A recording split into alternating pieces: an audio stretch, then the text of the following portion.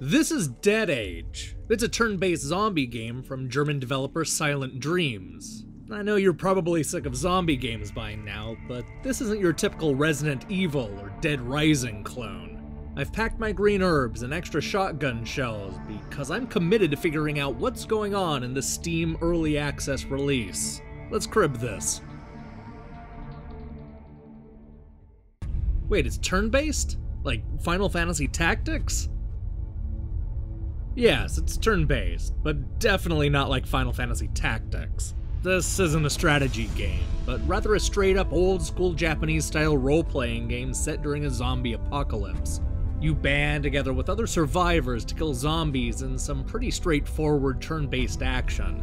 You choose whether to use melee or weapons, what kind of attack, and where it goes. And when everybody in your party is at a shot, the zombies will take a turn.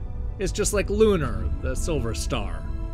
That said, the developer has made a Final Fantasy Tactics style strategy game. Silent Dreams actually started by making Grotesque Tactics back in 2010. Their follow up IP was a game called Holy Avatar vs. Maidens of Death. This too was a strategy RPG, so I understand why you might expect Dead Age to follow suit. But Silent Dreams appears to be trying something a little different, which is probably for the best. Okay, that's cool, but does it have a story? Sure, it's a zombie apocalypse. What more story do you need? Okay, fine. It starts out with a student who wakes up in the middle of an abandoned highway and fears his sister has been captured.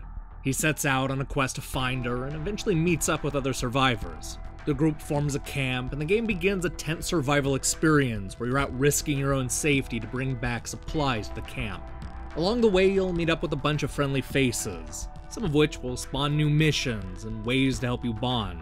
There's even a blossoming love story early in the student's game, and from the looks of it, Dead Age will have five playable characters, so perhaps that means we'll see new stories depending on if we go through it as the soldier or bodyguard. I'm curious to find out. But is it a role playing game? Yeah, it has most of the typical RPG tropes. You can grind for experience, level up each member of the party, discover loot, and equip new weapons and armor. The only thing it doesn't have is an overworld map, where you just wander around looking for random battles. There are also no dungeons. In its current form, Dead Age basically just has you jumping from one battle to the next with very little in between. Occasionally you'll search an abandoned bus or old truck, but don't expect the full Final Fantasy experience.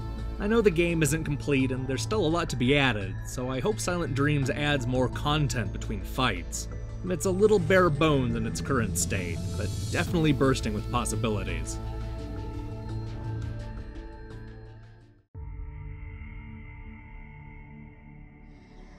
You don't see a lot of turn based zombie games, and this one seems to be getting a lot right. The graphics are a little rough, and the build only has a few zombies to beat up, but it's on the right track.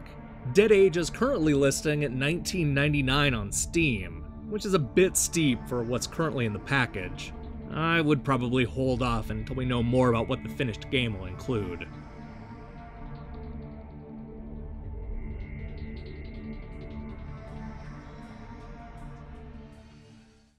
Hey, thanks for watching our preview. This is the second crib sheet we posted this week. and There's plenty more where that came from.